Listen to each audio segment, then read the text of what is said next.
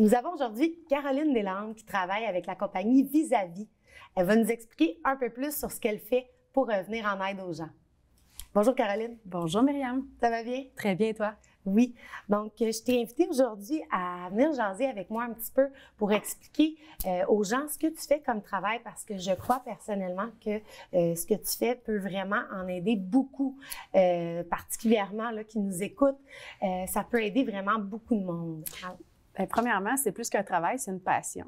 Euh, je suis vraiment chanceuse d'avoir ce, boulot-là. Je suis chanceuse d'avoir cette mission-là qui est d'accompagner les gens dans la recherche de résidence. Euh, donc, je travaille beaucoup avec les travailleurs sociaux, je travaille beaucoup avec les courtiers immobiliers, je travaille beaucoup avec les familles des gens qui ont des besoins. Euh, donc, tout ce beau monde-là fait appel à moi pour les aider dans les recherches. Mmh. Puis, dans le fond, les gens qui te contactent euh, peuvent te contacter au numéro qui va être en bas de l'écran. Oui, tout à fait. Si jamais ils ont besoin de tes services. Oui. Euh, puis, qu'est-ce que tu peux faire pour eux? Mais en fait, euh, c'est prouvé qu'une famille qui fait les recherches par elle-même d'une résidence RPA, une résidence pour aînés, ce serait une moyenne de 167 heures de démarche. Donc, c'est énorme en moyenne. Fait qu'il y en a que c'est plus, il y en a que c'est moins, mais c'est très difficile parce qu'autant qu'il y a de résidences, qu'il y a des de formules de résidence aussi. Toutes les résidences ne sont pas adaptées pour les gens nécessairement. Il y a des résidences qui se veulent très autonomes, il y a des résidences où les fauteuils roulants ne sont pas acceptés, il y a des résidences où c'est semi-autonome, donc les repas sont inclus, euh, l'entretien ménager, la buanderie, peu importe. Donc, autant qu'il y a de gens, autant qu'il y a de formules possibles. Donc, c'est pour ça que c'est important euh, de faire appel à quelqu'un qui, euh, qui est spécialisé dans le domaine. Sinon, la marge d'erreur est assez grande. Je comprends. Donc, euh, puis comment on fait un peu pour démêler ça? L'exemple, on se dit, nous, on y pense, euh, on, est vieillissant, on commence à avoir de la, de la tu sais, moins envie de s'occuper un peu là, de la cour, tout ça, on a le goût de downgrader. C'est quoi les, la première étape? Bien, en fait, euh, c'est l'identification des besoins, des besoins réels, puis des besoins aussi des volontés. OK?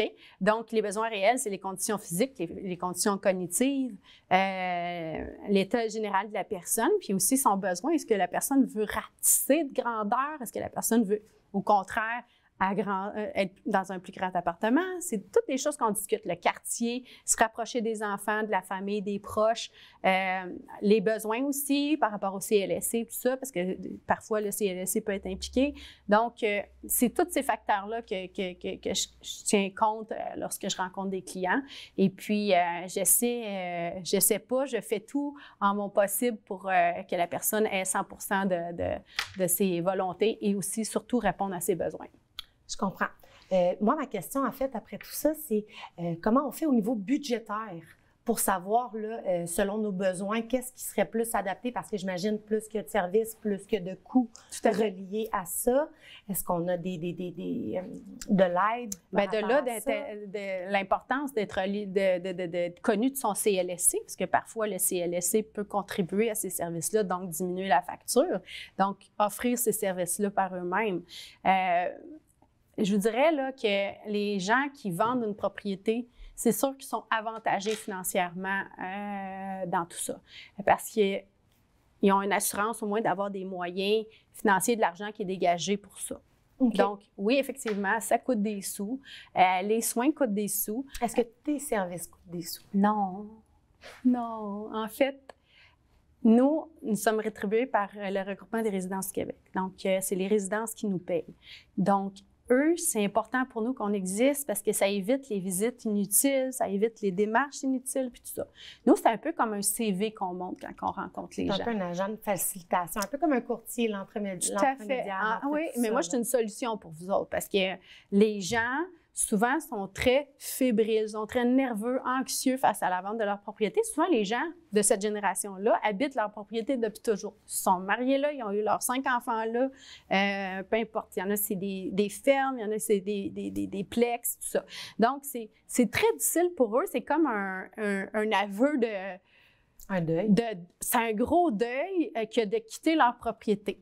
Donc, euh, c'est important. Je oui, comprends. Oui, tout à fait. C'est important de les accompagner dans tout ça, puis de leur faire voir que dans le fond, ce n'est qu'une page qu'on tourne, c'est pas un livre qu'on ferme. Euh, donc, cette page-là, c'est important qu'elle soit bien tournée, que, que, les gens soient bien outillés. Puis de là que je vous dis que la marge d'erreur est grande quand les gens font les recherches par eux-mêmes.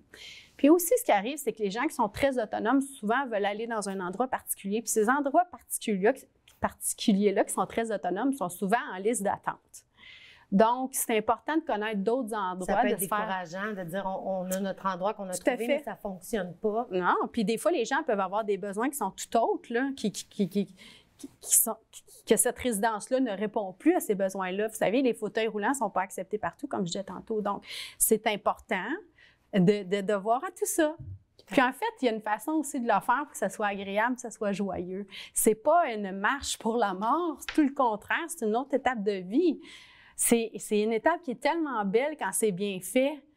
Puis moi, je, le vis dans des urgences à tous les jours, puis j'essaie toujours de mettre cette petite magie-là. Je sais que parfois c'est difficile, c'est un peu difficile à comprendre, mais j'essaie toujours de rendre ça agréable. Puis surtout quand on, on, amène la personne à la bonne place, lorsqu'on l'oriente vers la bonne résidence, les gens, ils sont jamais déçus.